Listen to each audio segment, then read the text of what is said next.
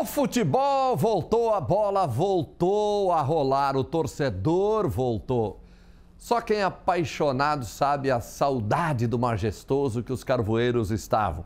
E retornou de cara com título. Tem algumas datas que passam voando.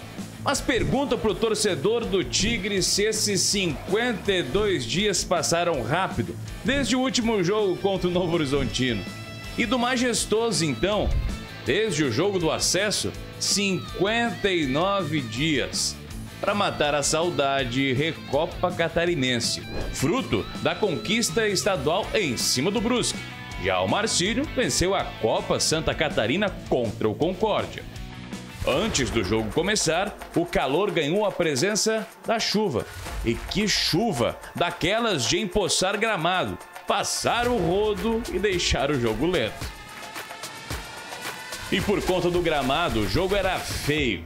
Somente aos 14 minutos, Felipe Mateus, em um drible, somado a um belo chute, acertou a trave. Logo depois, o Tigre começou a dominar o confronto. A zaga do Marcílio chegou a cabecear contra o próprio patrimônio. O Marcílio só foi chutar a primeira com um cronômetro marcando 26 minutos e sem assustar o goleiro Gustavo. Para animar a torcida e assumir o favoritismo, Claudinho achou Éder, que num cruzamento espetacular deixou Felipe Vizeu, no modo camisa 9, abrir o placar.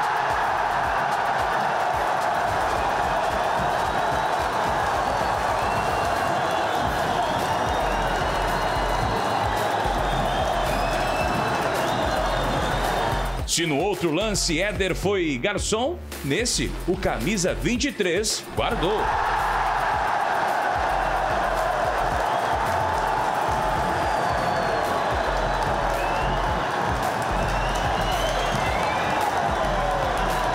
No segundo tempo, na verdade, pouco foi criado, mas serviu para a torcida ver algumas mudanças, principalmente os reforços. Renato Kaiser entrou, o volante Barça, o uruguaio, também acabou entrando no Criciúma Esporte Clube. Só que Santo de casa também faz milagre.